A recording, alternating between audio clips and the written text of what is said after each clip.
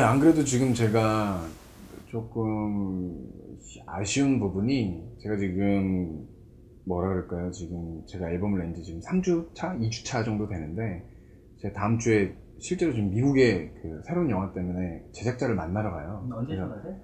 그게 아마 확실치는 않는데 약 정해진 건 없는데 일단 다음 주쯤인데 다음 주 중인데 이제 제가 음악 프로를 또못 하게 되잖아요. 어 그래서 음, 한 주를 제가 쉬어야 되는 그런 상황이 벌어지는데 갔다 와서 또 뭐 하겠지만 아, 아마 요번에 또 좋은 영화가 두 개 정도 얘기되고 있는 게 있어서 간 김에 여러 가지 프로듀서를 좀 만나보고 어, 인터뷰를 하고 오는 게 좋겠다. 그리고 원래 기존에 했던 그 더 프린스라는 영화의 프로듀서랑 또 만나서 일적인 얘기를 끝내야 되기 때문에 그래서 요번에 가면 또, 또 다른 소식을 좀 전해드릴 수 있지 않을까. 예.